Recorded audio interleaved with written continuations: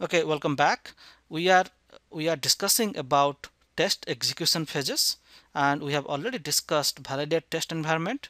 We have also validated the test. And now the final thing is to run the test. And this is the moment that we are waiting for all the way. In this video we are going to focus on how to execute the test.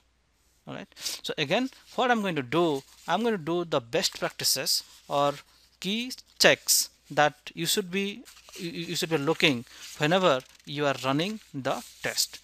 So what are the checks that you need to uh, you need to consider? So so first thing is that ensure that you know whenever you get a result that your workload spec is met. Workload spec is met. So that's the first criteria.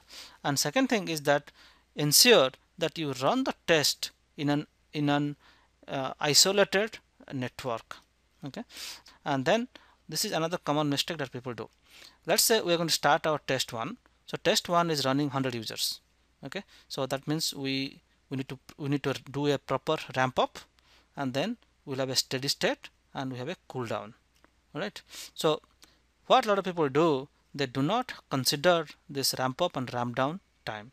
And also whenever you are going to take the result ensure that take the result for only this interval because at for example if I take this interval from here let's say to, to here I cannot guarantee that I have 100 users running.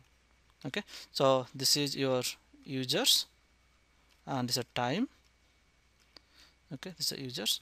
So at this time we have at, at this time we have at this time we have 100 users are running and at this time this is the end of end of the time and when all 100 users are doing something.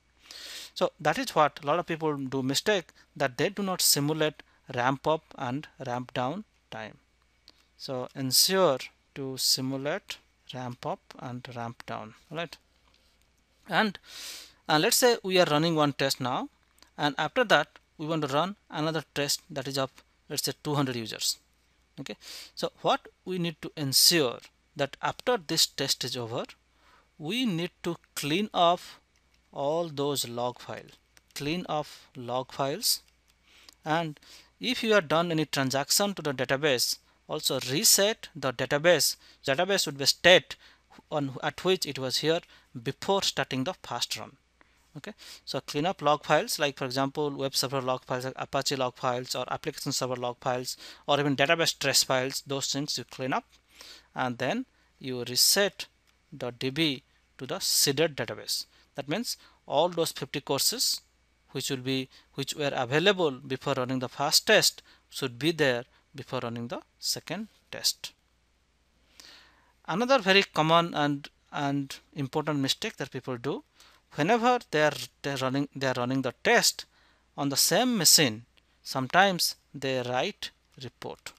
So guess what is going to happen when you write report on the same machine you are going to consume some CPU so essentially this is not good for performance testing where we are trying to measure something. This may be maybe okay if you are running functional test okay? So do not write reports or analyze any results and so on on your on your load generating tools or your server.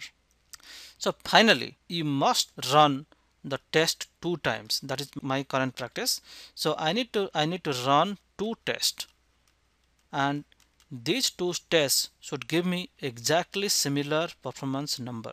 Once I done that then that is the result that I report to my upper management. See like you know, there are a lot of variables and here you are you are measuring something to the milliseconds right it may not be like you know always you, you get the same result in the in, in the in the consequent run but we need to understand what was the different and we should be back it up. Basically i i run test until i got two runs where the performance numbers are similar.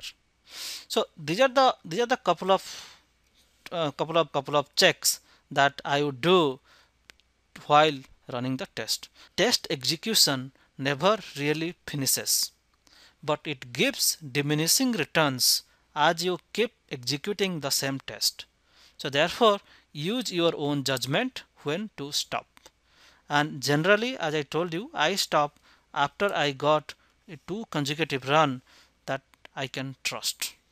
Right. So this is the process of test execution